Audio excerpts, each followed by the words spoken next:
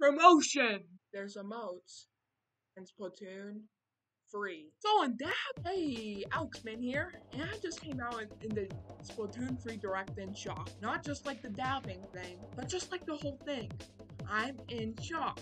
So of course, the best way is to turn on some Splatoon lo-fi and just make a video about it. So here I am, making a video about it. Let's get into it. The new stages are just fine none of them really just stick out to me, except Hagglefish Market, which was shown here for the first time. This just looks like a fun stage, especially since it looks like there's just not much rates, which is a annoying with I have with like a lot of water stages, specifically the um that one in Splatoon 2, I forgot the name of it. Turning stage stages are just really where it's at for this game. Museum Alfonso is pretty cool. Specifically like the rotating platforms it has, which I think should, could cause some chaos. Get it? Chaos. Hammerhead Bridge is a very straight stage, which I don't really like as much because there's just not a lot of space to like move around, and oftentimes I'm just gonna be sniped by charger which just isn't really that fun, you know? I specifically like Mahi Mahi Resort though. Some of the platforms sink and rise over time, which is such a fun gimmick. I think it'll be enjoyable to play on. Also from Splatoon 2, Wahoo World and MakoMart, among others, will make a return. I'm specifically hyped for these two because they were some of my favorites from Splatoon 2. We also will see Sturgeon Shipyard and Inkblot Art Academy.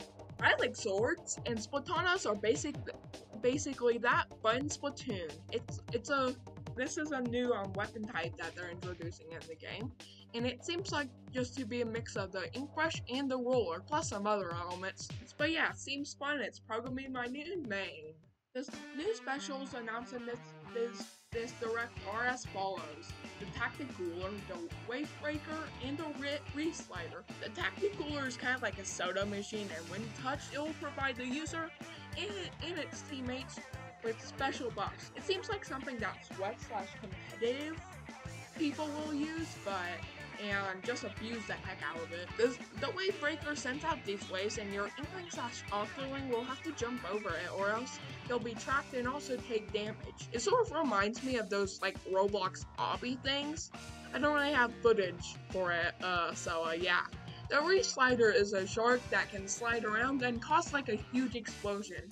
It sort of reminds me from the Kraken from Splatoon 1, but just less OP. Hit Tenta Missiles, Inkjet, Inkstorm, Ultra Stamp, and Booyah Bomb will be returning from Splatoon 2. These were my favorite specials from Splatoon 2, so I'm super hyped for them to return. They'll need a huge buff to really stand a chance in competitive battles because uh, they probably won't be that good. Still, I'm especially excited for Ultra Stamp and Booyah Bomb though. Sheldon is making a return once again to sell weapons. This time, however, you can buy weapons with with only one currency, and that currency is called Sheldon licenses.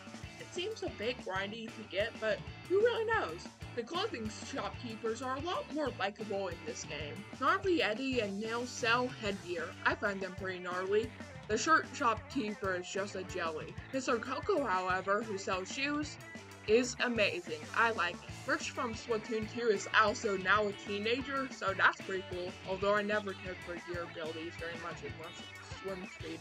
So I like using Murch to get my good, get some good gear, you know. Alright, now let's go through a number of quality of life features. In this game, you can skip the news. Woo! Yeah!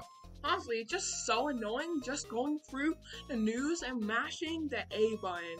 Like, it was just... Next, we got the test range. It's decent, but you can actually test stuff out while you're waiting out a lobby, in the lobby. Um, additionally, you can also use the players in the lobby called Splatlands Lobby, um, called Ghost, and actually join up with them. For Turf War, you can also just start a team together and with friends and go into a game too. We haven't really gotten much details about that, so, but this was like what I was able to get, get, yeah. We also have a proper replay mode. This will be really cool to create montages and highlight just cool kills. You can also share this, probably with Twitter, but maybe actually it'll appear in the in the lobby. There's also a new photo mode where you, where you can dab and stuff. This was a feature exclusive to Amiibo for some reason in the previous two games, but I'm happy they're bringing it back without Amiibo because who wants to do that? Additionally, the recon mode has been approved so you can select any map you want at any time. Freshest Fits. Fits allows you to save out outfits, which is something that we've wanted for so long. I'm glad that they're finally adding it into the game. Rank battles have been renamed to Anarchy battles, and you can actually either join solo or with some other people. And this means that you can join with um friends. Yeah. Uh, also, all game modes are confirmed for this game, including Clam Blitz, which are going to be on rotation. I I never really like Clam Blitz. I'm a bit sad, but that's fine, I guess. It's not a huge deal breaker. Private Battles also returned, which is great. There's also a new part of the lobby called the Locker Room, where you can fill your locker with all sorts of gizmos and gadgets and stuff. You can buy these things from a general store. Tableturf Battle is also, also, also a new mini game in the lobby, apparently. I don't I don't know like at all how this really works. You can get a deck or something. I just don't know, man. There's also splash tags, which is play at the start of the match, and you can change the background and the title of it. This is a feature that I've really wanted, and I'm glad they're bringing it in. Salmon Run got some new stuff shown off. The Slammin' Lid is a new boss Salmonoid who creates a barrier and protects Salmonoids on the ground they get close and it slams down, I assume that's how you really defeat it. I don't know, it, it sort of reminds me of like a UFO for some reason. I don't know why, it just does. The Big Shot is another new boss Salmonoid that fires big egg things from a cannon and I have to defeat it. It's very big. Sometimes I and there's like a chunky boy that comes along and you have to defeat it by throwing eggs at it. Why? Does it work? I don't know, man. I don't know. The story mode just doesn't really look too different from Splatoon 1 or 2's campaigns. All it seems like is just like adding cutscenes, but that's really it. Just a glorified tutorial. Additionally, the way they like talked about it just seemed like this would be just a case. Take a listen for yourself. Observe this manhole in Splatsville Square. This is actually the entrance to the home of the Octarians. Oh, I almost forgot. Story mode is perfect for getting familiar with inking turf and using weapons. Perfect for getting familiar with inking turf and using weapons. Finally, we have the idols named Deep Cut. Unlike the past two games, there's actually three idols in this game. We have Shiver, Frye, and finally, Big Man. Shiver and Frye specifically are very different from the previous two idol groups. I just don't really like their design though. I don't know. It's just like Big Man though is my man. I shall treasure him forever. Splatfest are returning obviously, but there's a unique twist. There's actually free team. I find this so cool. I, I just know they're just gonna make a Pokemon Storm Violet Flatless with Tito, Fueco, and Coco, and Quaxly. I just know it.